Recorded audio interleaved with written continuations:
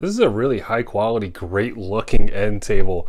I love the paint job on this. It's kind of a matte black through the metal front shelf here and the sides are metal bars and they're kind of matte black. The rest of this is made from a solid wood and it has a wood grain finish throughout it. And that's a little bit more glossy than the metal, but I think the contrast of the two really give this a modern, dark, look to it. What's really great about it is it has this drawer here, which opens up. It has a little magnet on top to keep it closed and an arm on the side here to help raise that up. Plenty of storage space inside of here. And you can also see in the back, it has a hole for your charging ports on the side, which I will get to. That closes easily, holds up by those magnets, has an open air shelf on the bottom here, all wood throughout the top and the sides.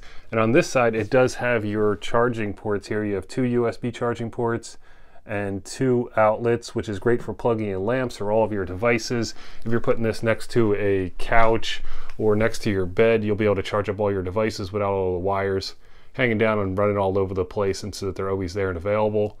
Bottom, you can't really see it here, but does have some adjustable feet on there so you can level this out if it's an unlevel floor that you're putting it on. Overall, this is a great high quality end table, very sturdy. I think it looks great. I really like the mesh front here, and I definitely recommend it.